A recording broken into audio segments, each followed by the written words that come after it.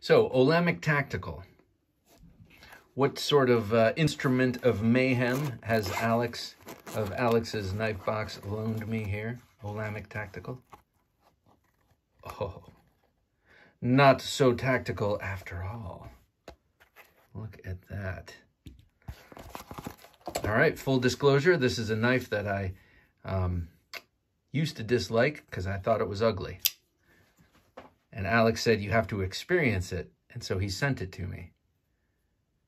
And, um, well, now that I have it in hand, it is an absolute piece of jewelry. This thing is, now I say an absolute piece of jewelry. Uh, obviously, it isn't. It's lacking the, the, the final criteria you need for something to be jewelry, and that is uh, useless other than wearable and able and there to be appreciated.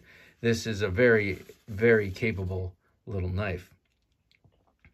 Made of M390 out in California, Olamic Tactical. This is called the Busker.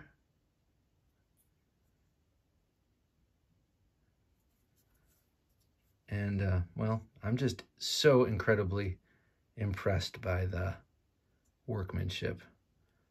You can see that hands touched this. But it's coming out of a somewhat production setting. So I don't know what this is called, but this frost, it looks like frost on glass, like the frost on the glass I scraped off this morning. And then you have Timascus inlay there. You can see a seam, but you can't feel a seam. You have a Timascus um, pivot collar on this side too. That beautiful clip. So you look at that workmanship, it's incredible. And that little package, I mean, it is a real little gem. I still am not crazy about how it looks, but that I have gotten over that in with so many knives. Uh, you know, that's just me being shallow. How it looks, how it looks. Well, I think this looks stupendous, even though the profile of it maybe isn't my thing. But you hold it in your hand and you can just feel. Sorry, I bumped the thing. You can just feel how ready it is. This is uh, this could be a lifelong companion. It feels like. I mean, it feels like it's built well enough to last way beyond your your life um, or mine. Uh, but I mean, this feels like it could just do the trick for just about anything forever. Of course, you're a knife collector and you're looking at this video, and if you were to have a knife like this, of course, this wouldn't be your only one. So this is also like the uh, like the Sharp by Design Arch Nemesis that Alex loaned me. I'm just kind of carrying this and holding this over tables because I just don't want anything to happen to this. Not only is it just unique, like it says here, never the same. And I know that Alex, all of his knives, he he really puts a personal spin on them with the with the makers. So I would hate for anything to happen to this and for me to be responsible for it. So just over the cutting board and just at the at the table. Though I have a feeling that this would clip ever so nicely in the back left pocket. I don't mind a little bit of girth in the in the or a little width, I should say, in the in my back pocket knives.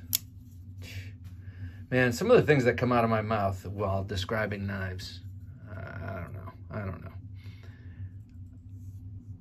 I love all of the uh, anodized hardware. It's like gold. looks like gold. Look at that. So uh, this is a beautiful knife. I don't have much to compare it to, but I'll show you some size things. You know, I don't have too many knives in this size category, and I have uh, zero are the knives I have in this class in terms of um, workmanship and, and um, you know, unique specialness. All right, so here it is with a, a Sage 2, Spyderco Sage. So it's, a pretty small knife. Sorry, me get a little OCD about this. Okay, there we go. And here it is with the Pete, the new CRKT Pete. Also much larger. This is these are three inch bladed knives. Uh, so there it is with the Kansept Pelican. As you can see, my smaller knives tend towards the three inch range. However, let's see. Here's my little Finch Runtley. There, there you go. There you go. Finch Runtley. That's that's the stable mate right there. I think if I put it like this, it'll compare better. Let me get these out of the way.